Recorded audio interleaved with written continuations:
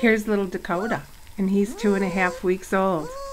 And he's a gray and white Siberian Husky, and he has just a little touch of black to make his colors really pop. He has beautiful, beautiful markings on his face. Are you a pretty boy?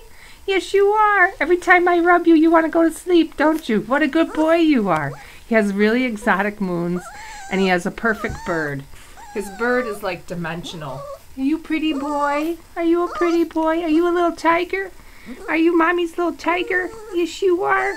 You look like a little tiger. Yes, you do. You look like a little tiger.